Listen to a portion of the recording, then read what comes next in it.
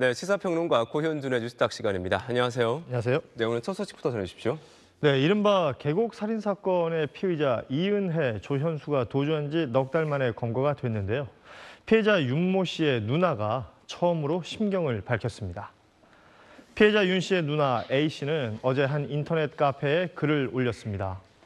A 씨는 공개 수배 이후 매일 쏟아지는 보도와 기사에 마음이 무겁기만 했다며 동생이 진심으로 대했을 그들은 동생을 그저 돈으로만 이용했다는 사실이 너무나 기가 막힌다고 토로했습니다.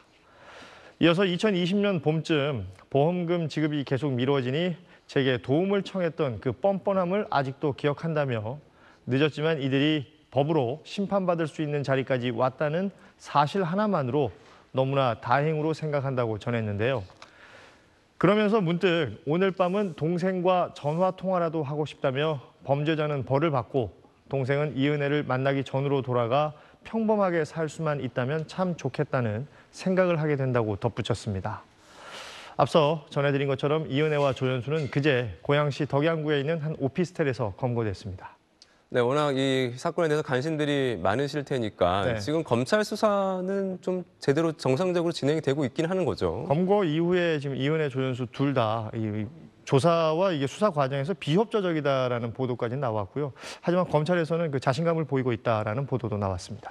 그렇군요. 뭐 오늘 중에 이제 구속영장을 청구할 거라고 보이는데 뭐이 사건은 조만간에 좀 일단락이 되지 않을까 싶은 생각도 듭니다. 네. 근데 또 이 두 사람이 이 계곡 살인 사건 이외에도 지금 다른 변제 혐의들에 대한 의혹들이 많이 제기되는 상태잖아요. 그렇죠.